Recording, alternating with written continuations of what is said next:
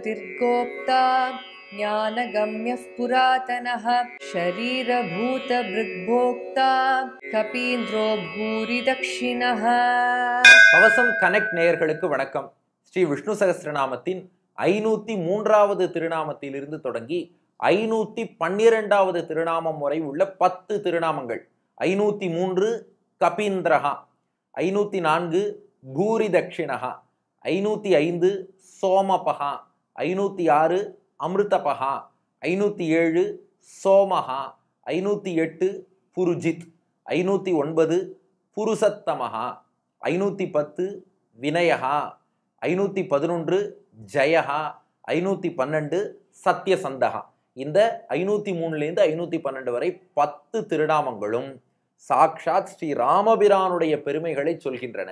என்று ஸ்ரீ பராசர பட்டர் அவருடைய விளக்க உரையிலே காட்டியிருக்கிறார். அப்போ ஏற்கனவே முன்னூற்றி தொண்ணூத்தொன்னுலேருந்து நானூற்றி இருபத்தொன்று வரை ஒரு முப்பத்தோரு திருநாமங்கள் ராமனுடைய வைபவமாக பார்த்தோம். இப்போ மறுபடியும் ராமாயணம் பார்ட் டூ மாதிரி இப்போது மீண்டும் ஒரு பத்து திருநாமங்கள் ராமபிரானுடைய வைபவத்தை சொல்லும் விதமாகவே அப்போ இது ரெண்டாவது ஸ்ரீராமாயண விஷ்ணு சகஸ்ரநாம வேள்வி. ஏற்கனவே பாருங்கள் ஸ்ரீராம நவமியை ஒட்டியே ஒரு ராமாயண விஷ்ணு சகஸ்ரநாம வேள்வியாக முப்பத்தோரு திருநாமங்கள் ராமாயணத்திலிருந்தே சம்பவங்களை அனுபவித்து அனுபவித்து இணைத்து இணைத்து பார்த்தோம் அல்லவா? இப்போது மீண்டும் ஒரு வாய்ப்பு நமக்கு ஸ்ரீ ராமபிரானுடைய அருளாலே கிட்டியுள்ளது. பாருங்கள் திருக்குடந்தை ராமசுவாமி கோவிலிலே எப்படி சீதையோடும் லக்ஷ்மணனோடும் ஹனுமானோடும் ராமபிரான் எழுந்தருளி இருப்பானோ அதே போன்ற திருக்கோலத்தோடு அருகிலேயே ராமர் வந்துட்டார். இதுபோல நம் ஒவ்வொருவருக்கு அருகிலும் ஒவ்வொருவர் இல்லத்திலும் ஒவ்வொருவர் உள்ளத்திலும் ராமன் என்றென்றைக்கும் குடியிருக்க வேண்டும் என்ற பிரார்த்தனையோடு இந்த பத்து நாள் வேள்வியை நாம் மீண்டும் தொடங்குவோம். இந்த பத்து நாள் வேள்வியிலே முதல் நாள் இன்று இந்த ராமனுடைய பெருமைகளை சொல்லக்கூடிய இந்த ரெண்டாவது செட் ஆஃப் திருநாமங்களிலே முதல் திருநாமம் மொத்த சகசிரநாமாவளியிலே ஐநூற்றி மூன்றாவது திருநாமம் கபீந்திரஹா என்பது. கம்பராமாயணத்தில் பாலகாண்டத்தில் அற்புதமான ஒரு காட்சி. தேவர்கள் எல்லாம் மேருமலை சிகரத்தின் மத்தியிலே உள்ள ஒரு மண்டபம். அதுதான் தேவர்களின் ஆலோசனை மண்டபம். அந்த மண்டபத்திலே வந்து எல்லா தேவர்களும் ஒன்று கூடினார்களாம். அப்போது தேவர்கள் எல்லோரும் பிரம்மதேவரிடம் சொல்கிறார்கள் பிரம்மதேவரே இந்த ராவணன் உள்ளிட்ட அரக்கர்களாலே நாங்கள் ரொம்ப கஷ்டப்படுகிறோம். அவர்கள் எங்களையெல்லாம் போட்டு வாட்டுகிறார்கள். அவர்களை எப்படியாவது அழிக்க வேண்டும். அதற்கு என்ன வழி? பத்து தலையும் இருபது கையும் வச்சுருக்கான் ராவணன். அவன் மகன் இந்திரஜித் அவன் அவனை விட பலசாலியாக இருக்கிறான். கும்பகர்ணன் கேட்கவே வேண்டாம். அவன் எந்திரமா மனுஷனா அரக்கனா என்னன்னே சொல்ல முடியலை. அப்படி ஒரு கோரமான வடிவத்தோடு இருக்கிறான். இப்படி இவர்களாலே நாங்கள் துன்புறுகிறோம். நாங்கள் இதிலிருந்து வெளிவருவதற்கு என்ன வழி? என்று தேவர்கள் அத்தனை பேரும் பிரம்மாவிடம் கதறி பிரார்த்தித்தார்களாம். அப்போ பிரம்மதேவர் சொன்னார் இதிலிருந்து நம்மை காக்க வேண்டும் என்றால் இந்த அரக்கர்களின் தொல்லையிலிருந்து காக்க வேண்டும் என்றால் திருமாலால் மட்டும்தான் காக்க முடியும். தேவர்களே வாருங்கள் எல்லோரும் திருமாலை தியானிப்போம் என்று சொன்னார் பிரம்மா. எல்லா தேவர்களும் ஸ்ரீமன் நாராயணனை தியானித்தார்கள். அப்போது அந்த மேருமலையின் அந்த மத்தியிலே இருக்கக்கூடிய மேருமலை சிகரத்தின் மத்தியில் இருக்கக்கூடிய அந்த மண்டபத்துக்கு ஸ்ரீமன் நாராயணன் எழுந்தருளினான். இந்த காட்சி வால்மீகி ராமாயணத்தில் வேறு விதமாக வர்ணிக்கப்பட்டுள்ளது. நாம் இப்போது கம்பராமாயணம் பார்க்கிறோம். அந்த இடத்துக்கு நாராயணன் வந்தான். எப்படி வந்தான்னா கம்பர் பாடுகிறார் கருமுகில் தாமரை நல்காடு பூத்து நீடு இருசுடர் இருபுறத்து ஏந்தி ஏந்தலர் திருவொடும் பொலிய ஓர் செம்பொன் குன்றின் மேல் வருவது போல் கலுழன் மேல் வந்து தோன்றினான். இப்போது நீங்கள் உங்கள் மனக்கண்களை திறந்து கொள்ள வேண்டும். என்னன்னா ஒரு பெரிய கார் மேகம் நல்ல நீருண்ட மழை பொழியக்கூடிய கருப்பு வண்ணம் கொண்ட ஒரு கார் மேகம். அந்த கார் மேகத்திலே ஒரு தாமரை காடு பூத்திருக்கிறது. அந்த கார் மேகம் முழுக்க பார்த்தா தாமரை பூக்களாக இருக்கின்றன. அந்த கார்மேகம் என்ன பண்ணித்தான் ஒரு பக்கம் சூரியனையும் மறுபுறம் சந்திரனையும் ஏந்தி கொண்டு பறந்து வருகிறதாம். அந்த கார்மேகத்துக்கு நடுவிலே பார்த்தால் ஒரு மின்னல் ஒன்று வெட்டி கொண்டு ஒளி வீசுகிறதாம். அந்த தாமரை அந்த தாமரைக்காடு நிறைந்த அந்த மேகம் அந்த மேகத்துக்கு கீழே பார்த்தால் செம்பொன் குன்றம்.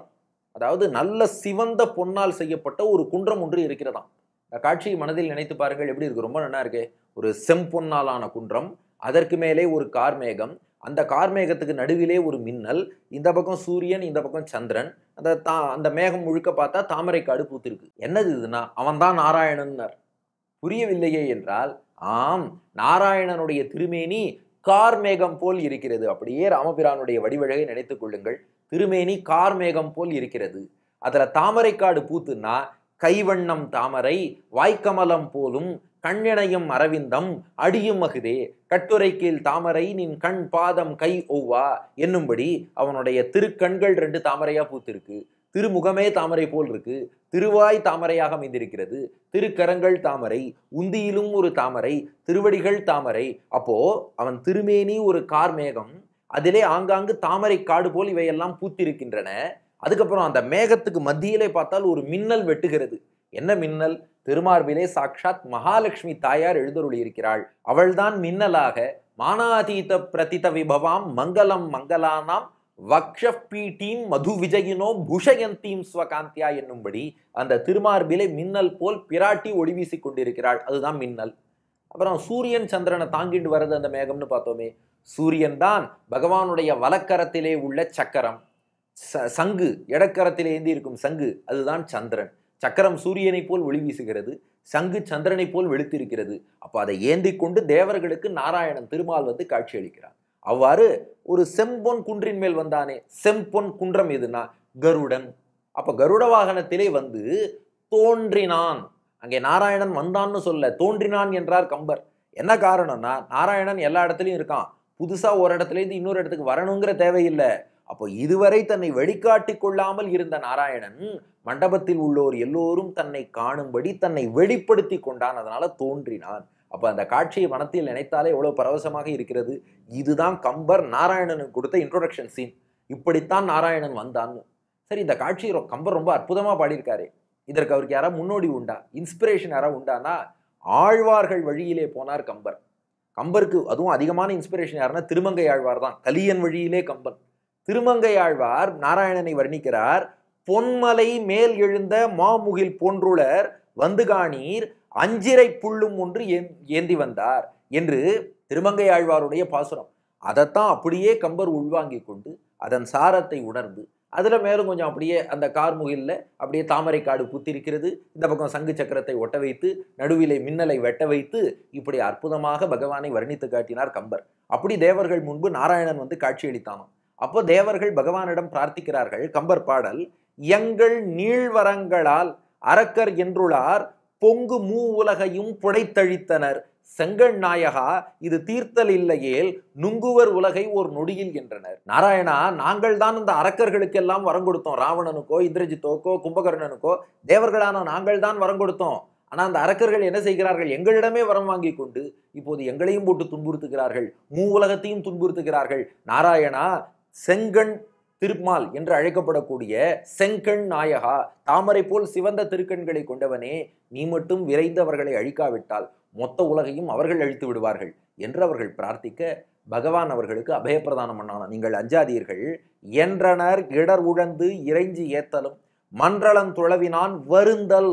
நீங்கள் யாரும் வருந்தாதீர்கள். நான் இருக்கிறேன். எப்போ என்னை சரணடைந்து விட்டீர்களோ? நீங்கள் யாரும் வருந்த வேண்டாம். அந்த ராவணன் ஆகட்டும் இந்திரஜித் ஆகட்டும் கும்பகர்ணன் ஆகட்டும் அவனுடைய உறவினர்கள் என்ன? அவனோட தவறான வழியில் செல்லக்கூடிய மற்ற சகோதரர்கள் என்ன? அவர்களுடைய மந்திரிகள் என்ன? அவருக்கு உதவி செய்யக்கூடிய அரக்கர்கள் என்ன? அவனுடைய நண்பர்கள் என்ன? இப்படி யாரெல்லாம் தீய வழியில் போகிறார்களோ அந்த மொத்த கூட்டத்தோடு அந்த ராவணனையும் மற்ற அரக்கர்களையும் நான் அழிப்பேன். எப்போது என்னை ஆசிரியத்து விட்டீர்களோ நீங்கள் இனி அஞ்சக்கூடாது.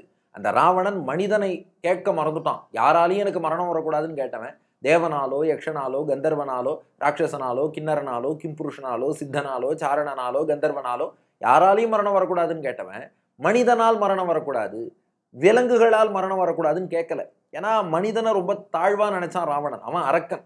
மனிதர்களால் நம்மளை என்ன பண்ண முடியும்னு நினைச்சான். அது போல விலங்குகளும் நம்மளை என்ன பண்ணிட போகிறதுன்னு நினைச்சான். அதனால பகவான் சொன்னான் நான் மனிதனாக அவதரிக்கிறேன். ராமனாக தசரதன் மகனாக மசரதம் அனையவர் வரவும் வாழ்வும் ஓர் நிசரத கணைகளால் நீரு செய்ய யாம் கசரத துரகமா கடல்கொள் காவலன் தசரதன் மதலையாய் வருதும் தாரணி. நான் தசரதனுடைய மகனாக வருகிறேன். கம்பராமாயணத்தின் அடிப்படையிலே பகவான் சொல்கிறான் நான் நாராயணன் தசரதன் மகனாக வருவேன்.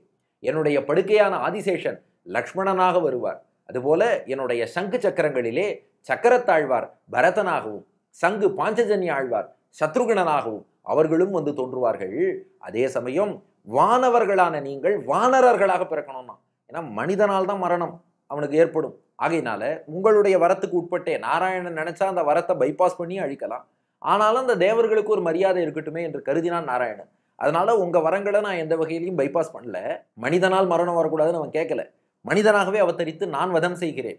எனக்கு உதவி செய்ய நீங்கள் குரங்குகளாக வாருங்கள்னா ஏன்னா மிருகத்தாலையும் மரணம் வரக்கூடாதுன்னு நம்ம கேட்கல.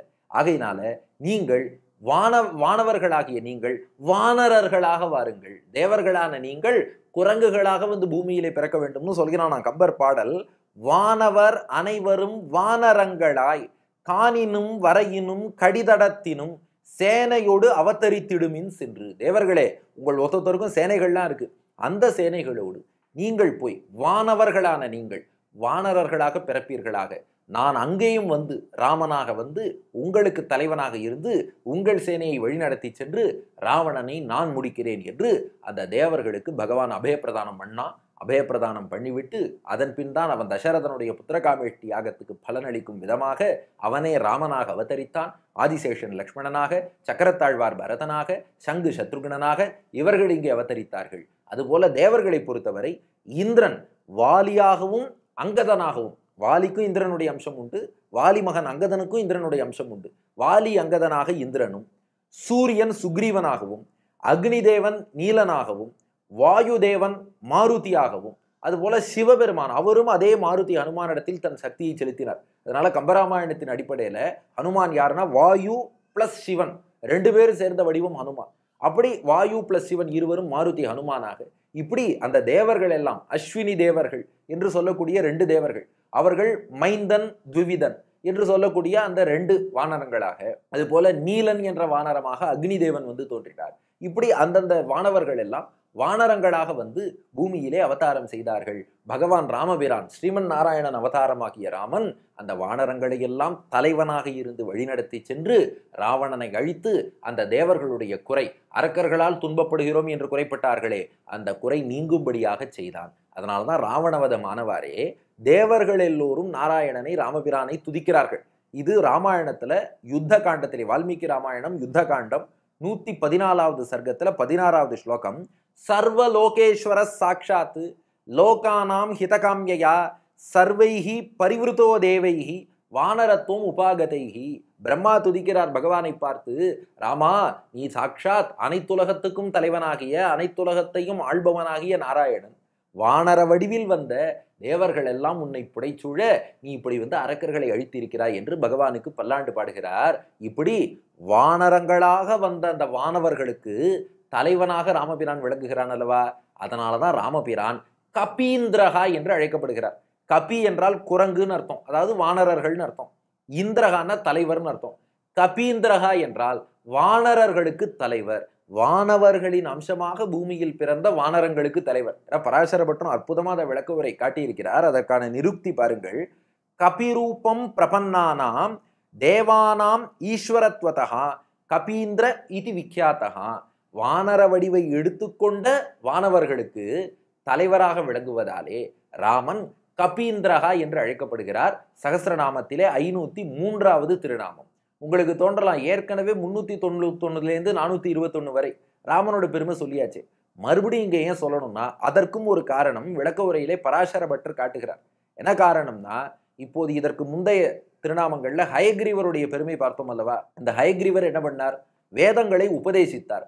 ஹயக்ரீவராக தான் எந்த வேதத்தை உபதேசித்தானோ அதே வேதத்தை வேத தர்மத்தை தானே அவதரித்து அவன் பின்பற்றவும் செய்திருக்கிறான். அதற்காகத்தான் ராமனாக அவதரித்தான். அப்போ ஹயக்ரீவர் வேத தர்மத்தை சொன்னார். அதை செயல்பாட்டிலே நடத்தி காட்டியவன் ராமன். அதை உணர்த்த வேண்டும்ங்கிறதுனால தான் வேதவியாசர் மீண்டும் இங்கே ராமனின் பெருமையை சொல்கிறார்னு பராசர பட்டர் அத ஏவம் ஸ்வவர்தித்த வேத விகித கர்ம பிரவர்த்தகா என்று சொல்லி ராமனுடைய வைபவத்தை சொல்கிறார். முன்பு பார்த்தோம் அல்லவா இந்த முன்னூத்தி தொண்ணூத்தொன்னுலேருந்து பரர்திப் பரமஸ்பஷ்டகா அங்கேருந்து சொல்லும்போது மிருத சஞ்சீவனம் ராமச்சரித்தம்னார். இறந்தவர்க்கும் உயிரளிக்கக்கூடிய ராமச்சரித்திரம் சொல்லப்படுகிறதுனார் இங்கே ஹயக்ரீவராக பகவான் எந்த தர்மத்தை பின்பற்றினானோ அந்த தர்மத்தை அனுஷ்டித்து காட்டிய ஹயக்ரீவராக எந்த தர்மத்தை உபதேசித்தானோ அதை பின்பற்றிய ராமனுடைய வரலாறு என்று இங்கே பராசர பட்டர் வியாக்கியானம் பண்ணி காட்டுகிறார். ஆக கபி என்பது குரங்குகளை குறிக்கிறது. அதான் சொன்னேன் அல்லவா? கபி ரூபம் பிரபன்னானாம் தேவானாம் ஈஸ்வரத்வதா கபீந்தரகா இது விக்கியாத்தகா அப்போ கபி குரங்கு வடிவில் வந்த தேவர்களுக்கெல்லாம் தலைவர் கபீந்திரகா என்று ஸ்ரீ ராமபிரான் அழைக்கப்படுகிறார். சகசிரநாமத்தின் ஐநூத்தி மூன்றாவது திருநாமம். நாமும் திருக்குடந்தை ராமசுவாமி கோவிலிலே எழுந்தருளி இருக்கக்கூடிய அந்த ராமனுடைய வடிவம். சீதாராமராக உற்சவர் மூலவர் பார்த்தா பட்டாபிராமனாக எழுந்தருளி இருப்பார். உற்சவர் கல்யாண திருக்கோலத்திலே எழுந்தருளி இருக்கிறார். அந்த வடிவை நன்றாக மனதிலே வைத்துக்கொண்டு கபீந்திராய நமகா என்று தினமும் சொல்லி வந்தால் நம்முடைய எல்லா குறைகளையும் அந்த ராமபிரான் போக்கி அருள்வான். நன்றி வணக்கம்.